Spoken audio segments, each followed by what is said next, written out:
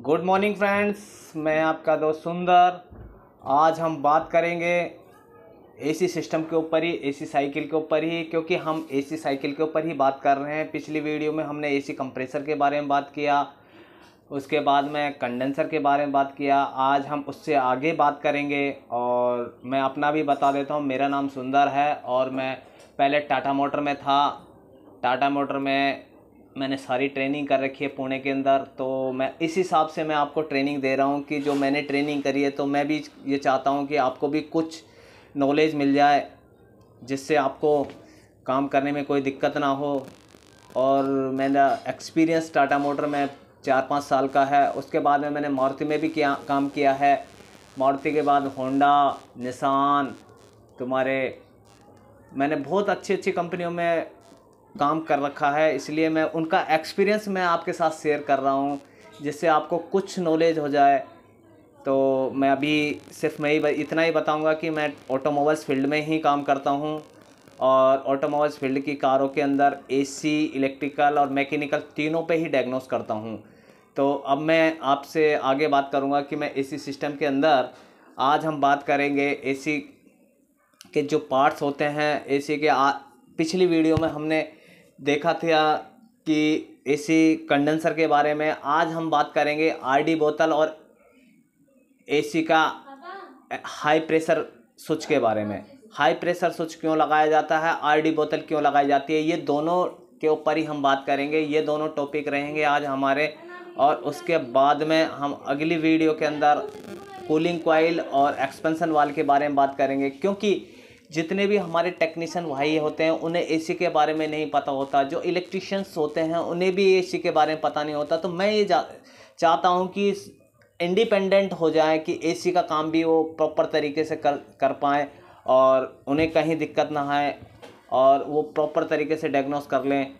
तो यही मैं बताना चाहता हूँ। तो अब हम आगे अपनी वीडियो को आगे लेते हुए टॉपिक को आपको बिल्कुल नहीं छोड़ना है, क्योंकि ये इम्पोर्टेंट टॉपिक है और अब हम सीधे बोर्ड पे हम आपको एसी स्विच के बारे में हाई प्रेशर स्विच और आरडी बोतल के बारे में बताएँगे। तो हम अपने बोर्ड के ऊपर आ चुके हैं। तो बोर्ड के ऊपर अब हम देखते हैं दोस्तों कि ये हमारा एसी सिस्टम है। एसी का पूरा साइकिल एक ऐसा होता है? जिसे हम एच एस कहते हैं, और जो छोटी लेवर कार होती है, जो पहले आती थी, उनमें खाली ए सी आता था, लेकिन अब जितनी भी कार्स हैं, उनमें एच एस होता है। एच एस का मतलब होता है कि heating ventilation air condition system होता है। तो अब हम बात करेंगे कि एसी सिस्टम जो प्रॉपर तरीके से काम कर रहा है, कैसे काम करता है। तो अभी हम बात करेंगे, हमने जाना कि जो एसी सिस्टम होता है, उसके अंदर चार मुख्य पार्ट होते हैं। एक कंप्रेसर होता है, एक उसके अंदर कंडेंसर होता है, एक उसका आरडी बोतल और स्विच होते हैं और एक होता है कूलिंग कॉइल। ये होते हैं इनके मैकेनिकल पार्ट और इलेक्ट्रिकल पार्ट में आते हैं। जैसे ब्लोवर हो गया, आपका एच पी स्विच हो गया, आपका कंडेंसर फ़ैन हो गया, ये आते हैं आपके इलेक्ट्रिकल पार्ट में। और जैसे कि कंप्रेसर के अंदर क्लच हो गया, वो भी इलेक्ट्रिकल पार्ट में आते हैं। लेकिन अभी हम एसी के जो ये आरडी बोतल के बारे में बात करेंगे, जो ये आरडी बोतल लगी हुई है, इसके बारे में हम बात करेंगे। तो ये आरडी बोतल क्यों लगाई जाती है, किस लिए लगाई जाती है, इसका मेन पर्पज़ क्या होता है? इस पर्पज़ के बारे में ही जानेंगे कि इसका पर्पज़ क्या है और ये क्यों लगाई जाती है इसकी लोकेशन कहाँ होती है, आपको कहाँ पे देखने को मिलेगी।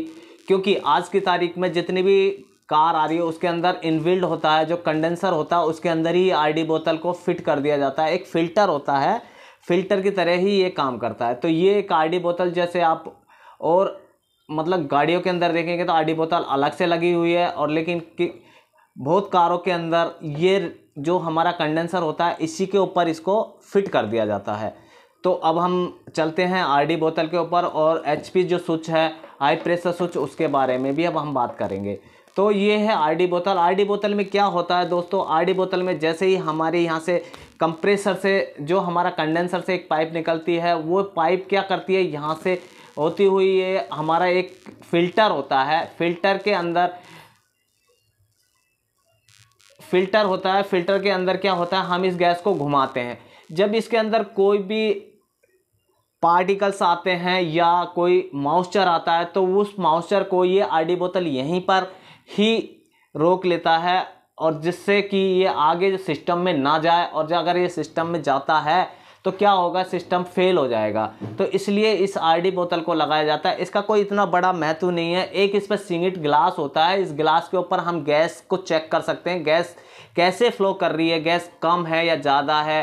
उसके बारे में भी हम जो इसमें बबल आते हैं, उसके बारे में भी हम जानेंगे। अगर इसमें बबल नॉर्मल आ रहे हैं, सही तरीके से एसी गैस चल रही है तो आप समझो एसी इसके अंदर गैस प्रॉपर है। और अगर इसमें बहुत ज़्यादा स्पीड से बबल्स आ रहे हैं तो आप जानिए कि इसके अंदर गैसे की क्वांटिटी कम या ज़्यादा की दिक्कत आ गई है।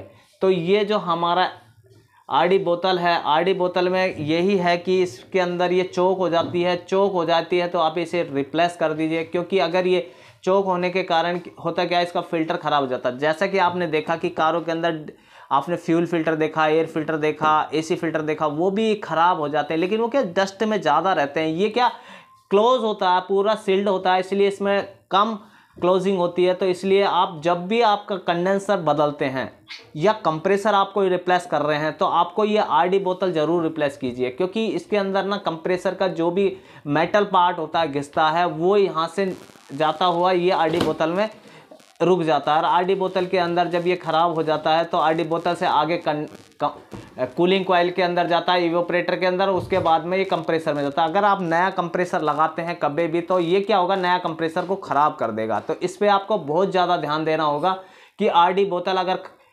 कंप्रेसर आप चेंज कर रहे हैं तो आरडी बोतल को आपको रिप्लेस करना चाहिए। और ये जो कंडेंसर है इसे भी रिप्लेस करना होगा।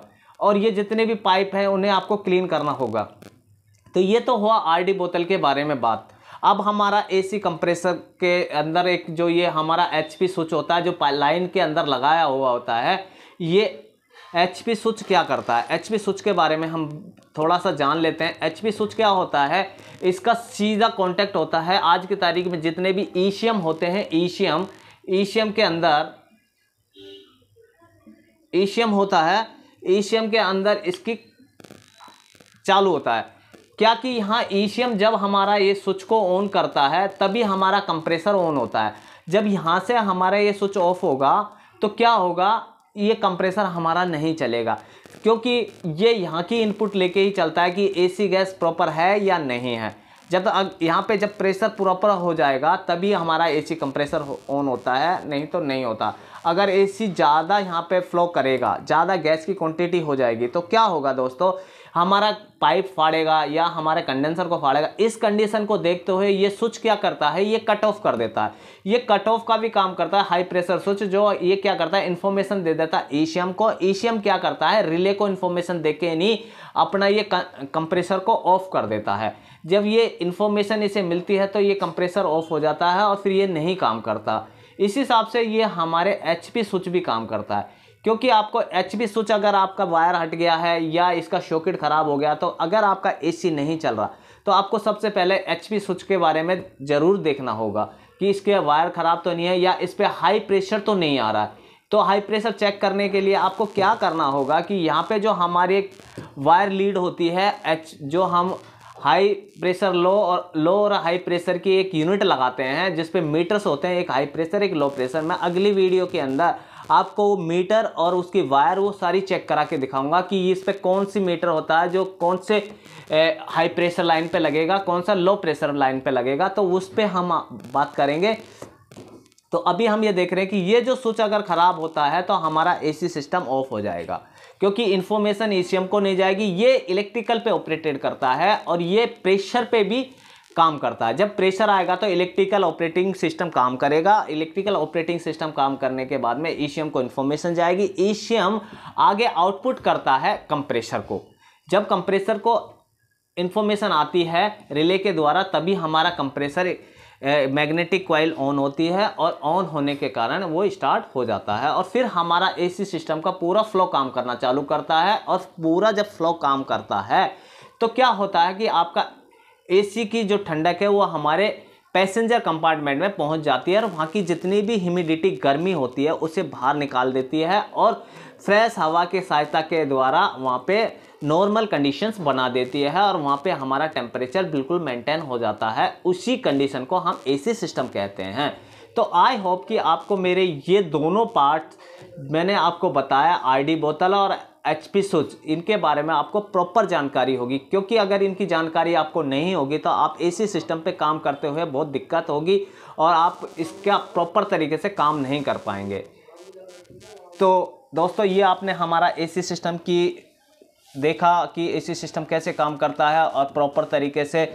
तो अगली वीडियो में हम आपको दिखाएँगे कूलिंग सिस्टम एंड इसका एक्सपेंसन वाल के बारे में पूरा डिटेल से बताएँगे कि एक्सपेंसन वाल और कूलिंग कॉइल कैसे लगती है। उसके बाद में हम ब्लोवर मोटर के बारे में बताएँगे कि ब्लोवर मोटर क्या होती है। फिर उसके बाद में हम कंडेंसर फ़ैन के बारे में बात करेंगे। उससे आगे हम एच जो ये वाल्स लगे हुए हैं, इनके बारे में भी हम डिटेल से बात करेंगे कि वाल कैसे होते हैं, इन्हें खोला कैसे जाता है, कौन सा टूल्स लगता है। उसके बारे में हम डिटेल से बात करेंगे। तो आई होप कि आपको ये वीडियो अच्छी लगी। अगर आपको ये वीडियो अच्छी लगी तो आप इसे शेयर कीजिए सब्सक्राइब कीजिए और लाइक कीजिए। Thank you wish you wealth